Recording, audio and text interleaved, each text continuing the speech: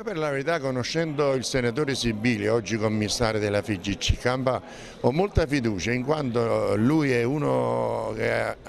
fatto sport perché chi conosce Cosimo Sibili ha giocato con l'Irpine ed era pure bravo. Per quanto riguarda l'impegno io sono convinto e straconvinto che essendo avellinese, avendo praticato lo sport, eh, facendo parte del CONI come Presidente, io sono convinto e sicuro e straconvinto che ci darà una mano a risolvere parecchi problemi che ci sono in federazione. Anche perché, come diceva lei, davvero i problemi sono tantissimi. Quelli sollevati questa sera sono solamente alcuni dei eh, tanti con i quali vi dovete confrontare giorno dopo giorno, perché poi alla fine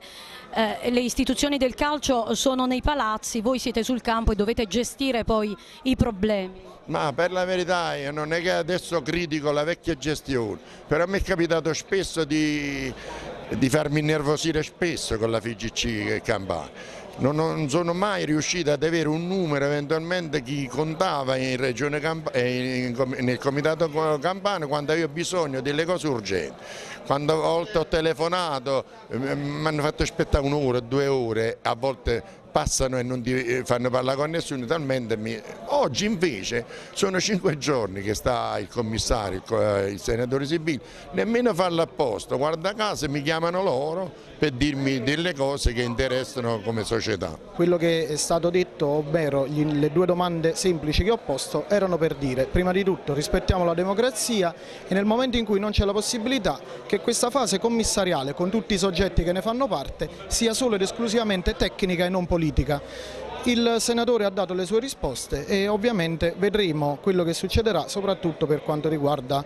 la, lo tsunami democratico che comunque si è messo in moto in tutta la campagna. Mi lasci passare il termine però, è stato messo un po' in minoranza, si è sentito anche un po' tradito da quanti hanno firmato anche eh, quella, quella, carta che per andare al, alle elezioni ed oggi invece si sono tirati indietro, hanno detto chiaramente se torni non firmiamo. Tre società Real Forino e tra parentesi ha parlato il direttore sportivo e non il presidente, San Tommaso che non ha firmato e l'unico è il Bonito, quindi io i dati li leggo in un altro modo. Se dobbiamo lanciare una provocazione ripartiamo di nuovo con la raccolta firme e vediamo quante ne prendiamo, così vediamo realmente chi ha davvero la voglia di andare a votare e chi in un contesto del genere non ha il coraggio di alzare la mano e prendere la posizione che realmente poi a telecamere spente ha tutte le lamentele e tutte le riserve del caso. Ma con questo non voglio montare una polemica perché sono stato il primo a fare bocca al lupo al commissario, ma sempre nel nome e sempre nel rispetto del bene delle società calcistiche irpine e ovviamente campane.